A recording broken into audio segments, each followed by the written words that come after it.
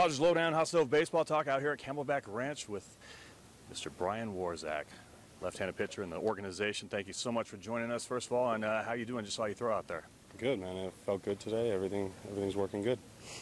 Just taking a look at uh, your season last year. You were drafted uh, in 2018 with the Dodgers, where you got some starts in, came out of the bullpen. What do you prefer? Um, honestly, whatever role is good. You know, I did both. I'm comfortable with both. You know, right now they got me in the starting rotation, but I came in relief today, so I mean, I'm ready for anything.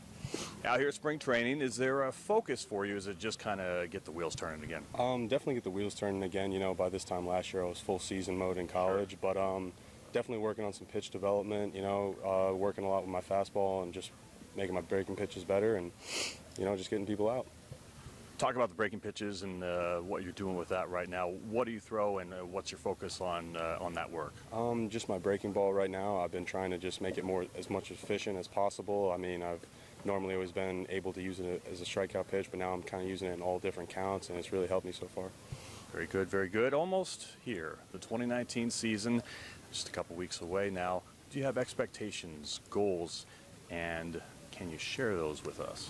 Um, yeah, I have. I mean, I have some goals. I'd like to. Uh, obviously, you know, I, I want to pitch as much as I can, to help out whatever a team, whatever affiliate I'm at, and um, you know, just consistency. That's that's what everybody's looking for, and I think that they've done a great job with everybody here, including myself, and that's something I'm really looking forward to this year. We're looking forward to seeing you out at the affiliates in 2019 and then beyond. Bryan, thank you so much for the time. Thank you very much. Appreciate it.